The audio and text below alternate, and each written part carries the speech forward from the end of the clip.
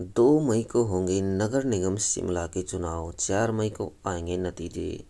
इसी दिन प्रदेश में पंचायत उपचुनाव भी होंगे, राजधानी में आचार संहिता लागू।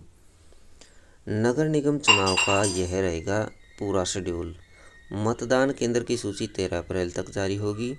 नामांकन पत्र भरने का समय तेरह, सत्रह, अठारह अप्रैल 2023 सुबह ग्यारह से तीन बजे का रहेगा। नामांकन पत्रों की छटनी 19 अप्रैल सुबह दस बजे। नामांकन पत्रों की वापसी 21 अप्रैल सुबह 11 से 3 बजे, मतदान 2 मई सुबह 8 बजे से 4 बजे तक, मतगणना और परिणाम 4 मई सुबह 10 बजे। नगर निगम पालमपुर के वार्ड दो में भी 2 मई को उपचुनाव होगा। नगर निगम शिमला के चुनाव का ऐलान हो गया है। पंचायत उपचुनाव के साथ ही 2 मई को शिमला नगर निगम के चुनाव होंगे। चार मई को नतीजे आएँगे।